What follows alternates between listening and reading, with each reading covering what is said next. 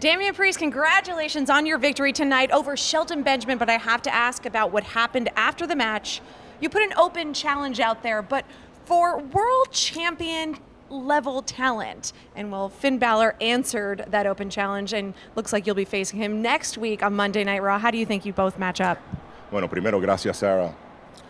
Sí, este, desde que gané el campeonato, he derrotado muchos campeones de peso completo varias veces, muchísimas veces. Y eso es un honor y me da felicidad tener este campeonato. Pero yo quiero seguir siendo esa clase de campeón. Necesito esa clase de combate.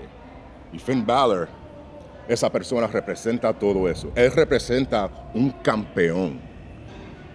Y para mí, ¿cuál va a ser la diferencia? Ninguna. Cuando termine el combate, Damien Priest sigue siendo el campeón de los Estados Unidos.